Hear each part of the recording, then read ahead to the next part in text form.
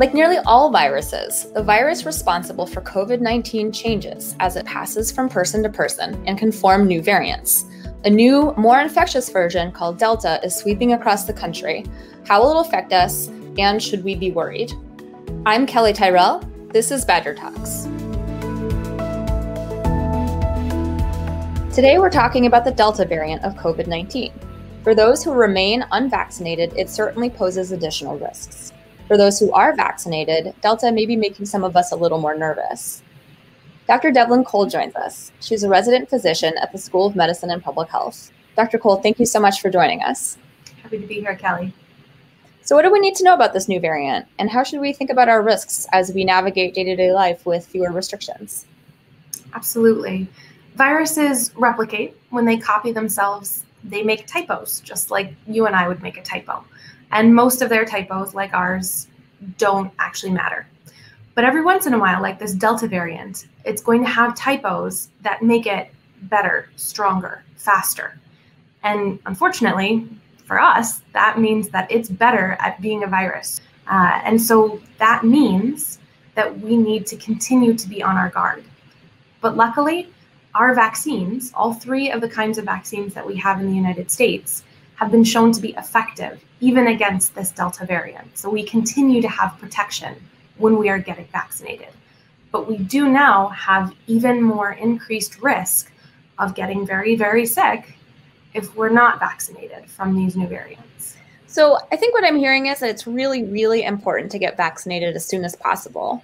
What should unvaccinated people know about their risks with Delta?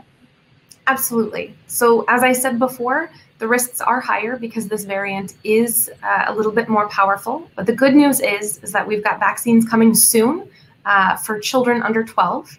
Theoretically, we should have those as soon as September or October. And we're also seeing an added protective effect that the more people that are getting vaccinated, uh, the more protection there is in those communities for people who are unvaccinated. But still, the best thing that you can do for yourself, your own protection, and the protection of your loved ones in your community is to get vaccinated right now. So, what about vaccinated people like me? I'm vaccinated. So, how should I think about my risks with a new variant, especially if I am going out in public and might be spending time with other people who might not be vaccinated, whether it's at work or at the grocery store? First of all, congratulations. Getting vaccinated is the single best thing that you can do to protect yourself against COVID 19, including all of the variants. Um, so, have confidence in your vaccine. It is protecting you, and there is science behind it. You can return to kind of the normal levels of protection we were using with normal respiratory viruses and flu season. So please do continue to wash your hands.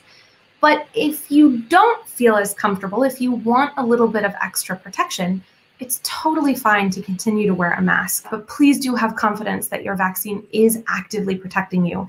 Encourage everyone around you to get it and the good news is, is that in areas that have really high rates of vaccination, that's actually protecting unvaccinated children and adults who are unable to get those vaccines. So, all good things. So, what about things like uh, the World Health Organization recently suggesting that uh, vaccinated people should wear masks, and maybe parts of the US making similar mask requirements again? How should we be thinking about that? That's a great question. It is. Uh, it can be a little confusing right now, the landscape out there. What I would say is that those mask mandates are not because people with the vaccine need that additional protection, but because when you go out in the world, you can't tell who's vaccinated and who's not. So that's a great way of making sure that societies are protecting our whole selves, especially because we find that vaccine rates tend to be low in clusters and pockets. And that herd immunity can fall in that area, and then people are not as protected. So, mask mandates can be different in different areas for exactly that reason. So, are vaccinated people at risk of picking up and spreading the virus to other people who are unvaccinated, like maybe they're young kids or uh, vaccinated but immunocompromised family members? So, technically, with this Delta variant, we are seeing people have more breakthrough infections who are vaccinated, meaning that they have more viral replication, a higher load, and may be more likely to spread it to other people. But that is still very low. And when you get a lot of people together, like here in Dane County, where we have very high vaccination rates, that is super protective for all of those unvaccinated people. So you're doing yourself a service by protecting yourself more, and you're doing your loved ones and your community a service by getting your vaccine. Because when we all get it together, we actually get to protect those of us that can't, those kids that are 12 and under, immunocompromised people. Uh, and, and we are seeing lower infection rates in unvaccinated children in areas like this with high vaccination rates.